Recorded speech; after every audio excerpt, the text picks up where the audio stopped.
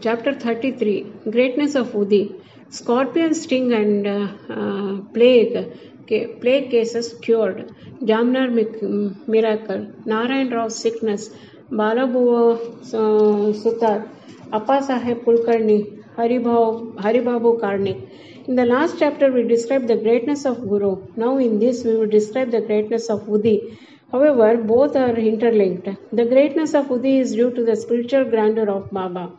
Preliminary. Let us know now, before the great saints, uh, this their merciful glances will destroy mountains of sins and do away with all the blemishness of our character. Their talk gives us good teachings and confers, confers on us invaluable happiness. Their minds do not know any difference, such as this is ours and that is yours. Such differentiation never arises in their mind. Their debts, obligations will never be repaid by us in this birth, as well as in many future births. Udi. It is well known that Baba took dakshina from all, and out of the amount thus collected, he spent on charity and purchased fuel. This fuel he put in the dhuni, the sacred fire, which he kept ever burning. The ash from this fire was called Udi, and it was freely distributed to the devotees at the time of their departure from Shirdi. What did Baba teach by this Udi? Baba taught by this Udi that all the visible phenomena in this universe are as transient as the ash. Our body is composed of matter of the five elements which fall, will, will fall down after their enjoyments are over and be reduced to ashes. In order to remind the devotees of the fact uh, that their bodies will be reduced to ashes, Baba distributed Udi to them. Udi also taught by the uh, Baba also taught by the Udi that the Brahma is the only reality and the universe is ephemeral and that no one in this world, he be a son, father, or wife, is really ours. We come here in the, to this world alone, and we have to grow from here alone. It has been it has been found that the Udi cured many physical and mental maladies, but Baba wanted to repeat into the devotees' ears the principles of discrimination between the unreal and the real. He taught non attachment for the unreal by his Udi and Dakshina. The former taught, taught us discrimination, and the latter, Dakshina, taught us non attachment. Unless we have these two things, it is not possible for us to cross over the sea of the mundane existence. So Baba asked for Dakshina, and while the devotees took leave, he gave Udi as prasad besmeared uh, some of it on some of it on their head, foreheads and placed his boon conferring hand on them. When Baba was in cheerful mood, he used to sing merrily. One such song was about Udi.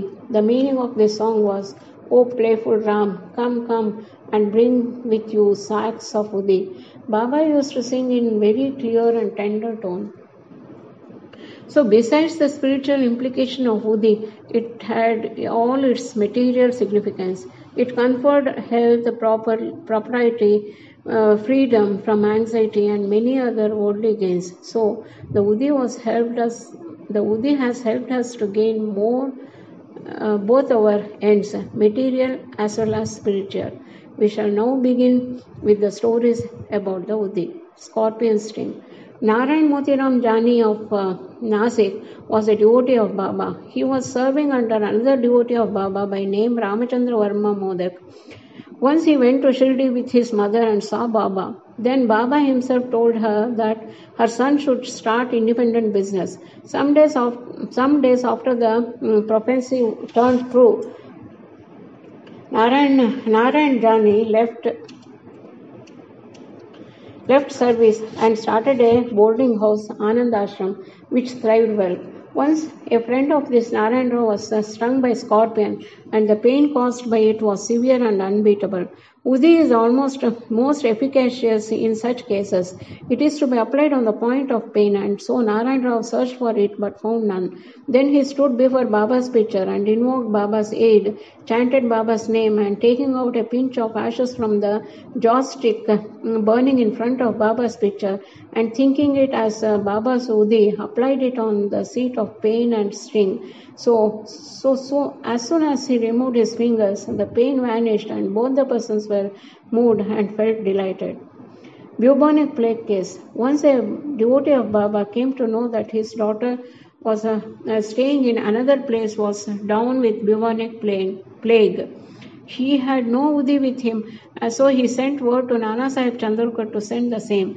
Nana Sahib got his, this message en route Thana railway station when he was traveling with his wife to Kalyan.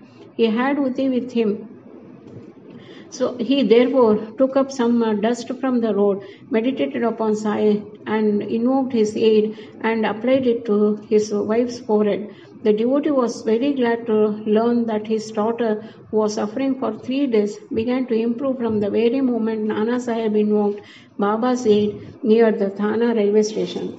The Jamner miracle. In the year 1904-1905, Nana Sahib Chandorkar was Mamaldar at Jamner in the Khandesh uh, district, which is more than 100 miles from Shirdi.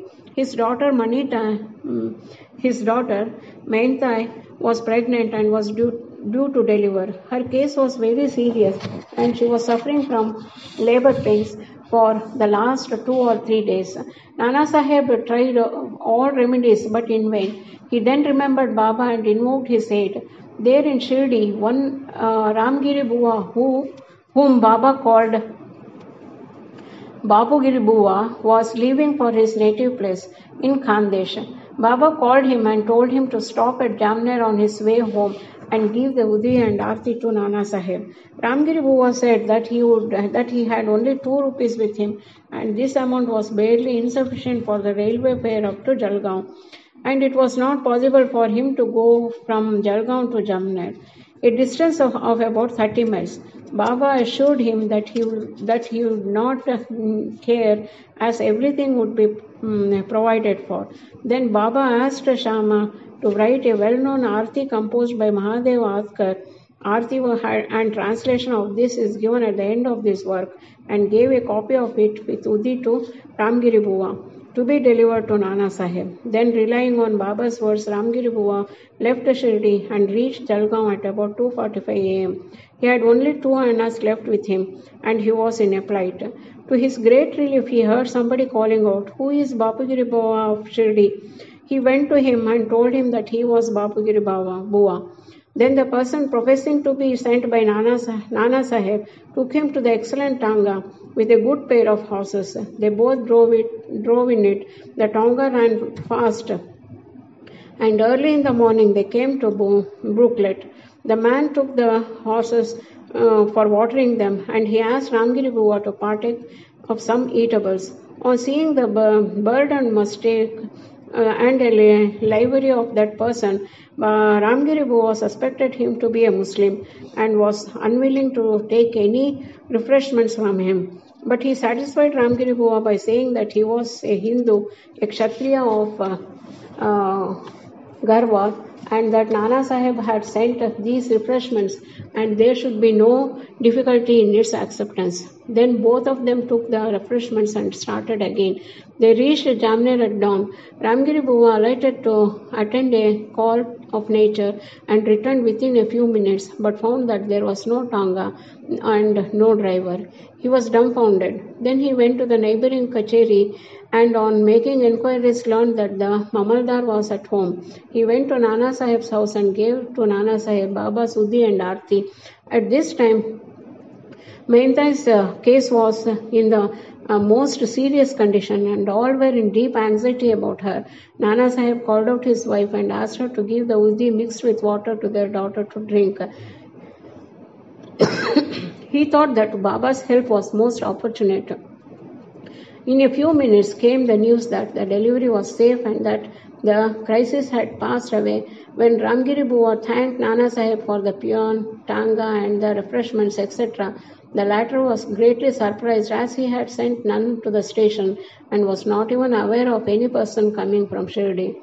Mr. B.V. Dev of Thana, retired Mamaldar, made enquiries about this matter with Baburao Chandorkar, son of Nana Sahib, and Ramgiri Bua of Shirdi, and after satisfying himself, wrote an elaborate article, um, part prose and part poetry, in the Sai Leela magazine, volume 13, number 11, 12, and 13. B.V. Narasimha Swami has also taken down the statements of Mentai and Babu Sahib Chandorkar and uh, Ramgiri Bua, dated 1st June 1936, 16th December 1936 and 1st December 1936 respectively and published them in his devotees' experiences part 3.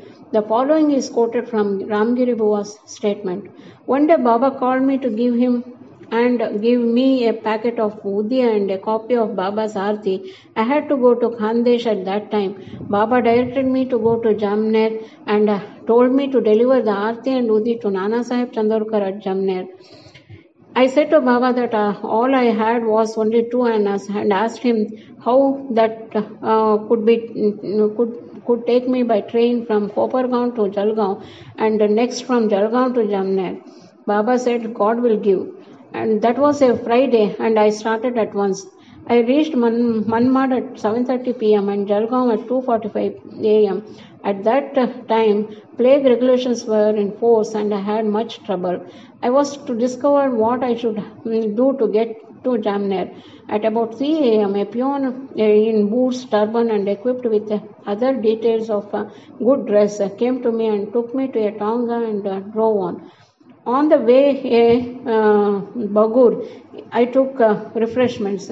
We reached from Jamner early in the morning, and by the time I attended Call of Nature, the Tonga and its driver had disappeared. Narayan Rao, Bhakta Narayan Rao, father's name and surname are not given, had the good fortune of seeing Baba twice during the latter's lifetime. Three years after the passing of uh, passing away of Baba in 1918, he wanted to come to Shirdi but could not. Within a year of Baba's Mahasamadhi, he fell sick and suffered much. All possible remedies given to him gave no relief. So he meditated on Baba day and night. One night he had a vision. Baba came through a cellar, comforted him, saying, Don't be anxious, you will be improving from tomorrow, and within a week you will be on your legs. Narayan got perfectly well within the time indicated in the vision. Now the point for consideration is this Was Baba living because he, he had the body, or was he dead because he left it? No, Baba is ever uh, alive for he transcends both life and death. He who loves him wholeheartedly gets response from him at any time and at any place. He is always by our side and will take any form appear uh, before the devout bhakta and satisfy him. Appa Sahib Kulkarni. In 1917, Appa Sahib Kulkarni was transferred to And began to worship Baba, Baba's picture presented to him by Baba Sahib Bhate. In real earnest, he did the worship. He offered flowers, sandal paste, and Naivedya daily to Baba in the picture and longed intently to see him. In this connection, it may be remembered that seeing Baba's picture earnestly is equivalent to seeing him in person. The following story illustrates this statement. Bala, Bala Bua Sutar a, saint of Mumbai named Balabua who came and who, on account of his piety, devotion, and style, was called modern Tukaram, came to Shirdi for the first time in 1917. When he bowed before Baba, the latter said, I have known this man for years, for four years. Balabua wondered and thought how could that be, as that was the first trip to Shirdi. But thinking about it seriously, he recollected that he had prostrated himself four years ago before Baba's portrait at Mumbai and was convinced that, about the significance of Baba's words. He said to himself, How omniscient and self pervading are the saints, and how kind they are to their devotees. I merely bow to his photo, but this fact was noticed by Baba, and in due time he made me realize that seeing his photo is equivalent to seeing him in person. Now we return to Appa Sahib's story. While he was in Thana, he had to go on tour to Bhiwandi and was expected to return after a week. In this absence, uh, the following wonderful thing took place in the third day. At noon, a fakir turned up at Appa Sahib's house. His features resembled exactly those of Baba's photo. Mrs. Kulkarni and children uh, all asked him whether he was Sai Baba of Shirdi. He said no but that was his that he was an obedient uh, servant of his and came there to on his order to inquire about the well-being of the family. Then he asked for dakshina. The lady gave him a rupee. He gave her a small packet of udi and asked her to keep this in the shrine. Then he left the house and went away. Now hear the wonderful leela of sai Appa Sahib could not proceed with his tour. As his horse fell sick at Bhiwandi, he returned home that afternoon and learned from his wife about Fakir's visit. He got very restless as he did not have the uh, darshan of the Fakir. Moreover, he did not like that only one rupee was paid to him as dakshina he said that uh, that had been uh, if he had been present he would have paid not less than 10 rupees. Then he immediately started in quest of the fakir and uh, searched for him in the masjid and other places without taking any food. His search was in vain. He then returned home and took his food. The readers may remember here baba's dictum uh, in chapter 32 that god's request god's quest should not be made on an empty belly. Then, after meals, he went out for a walk with a friend, Mr. Chitre. After going some distance, they saw a man approaching them rapidly. Appa Sahib thought that he must be the fakir who had come to their house at noon, as his features tallied with this of uh, Baba in the photo. The fakir immediately put forth his hand and asked for dakshina. Appa Sahib gave him a rupee. He demanded again and again, and so Appa Sahib gave him two more. Still, he was not satisfied. Then he borrowed rupees three from Mr. Chitre and gave him gave it to him. He wanted still more. Appa Sahib asked him to uh, accompany him to his house. Then all then they all returned home, and Appa Sahib gave him three rupees in in all nine. He looked unsatisfied and demanded again. Then Appa Sahib told him that he had a currency note of rupees ten. The fakirs asked for the same took it and returned the 9 rupees and went away.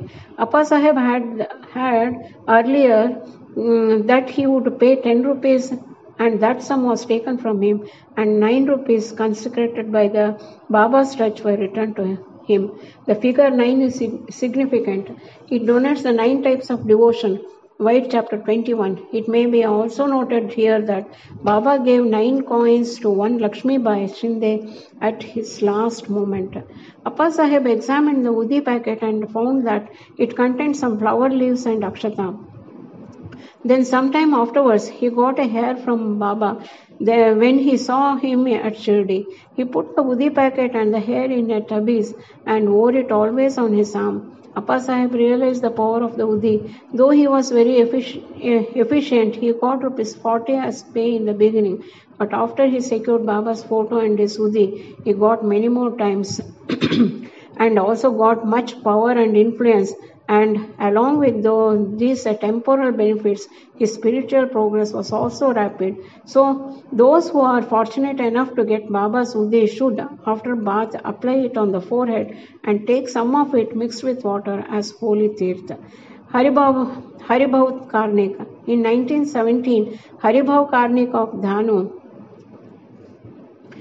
uh, came to Shirdi on the Guru Purnima day in the month of Ashada and worshipped Baba with all formalities. He offered clothes and dakshina and, off- and after taking Baba's leave, got down the steps of the masjid. Then he thought that he should never, he should offer one more rupee to Baba and was just turning to climb up again when Shama signaled him by gesture that he had got Baba's leave and he should go and not return. So he started for home. On his way, when he went to the temple of Kalaram at Nasik for darshan, the Saint Narsingh Maharaja, who used to sit inside the temple, came to Haribabu. Haribhav caught him by his wrist and said, Give me my one rupee. Karnik was surprised. He said the rupee was most willingly and thought that Sai Baba recalled the uh, rupee which he intended to intended in his mind to give through Saint Narsingh Maharaj. This story illustrates the fact that all the saints are one and illustrates how they work in unison. Bow, bow to Sri Sai. Peace be to all.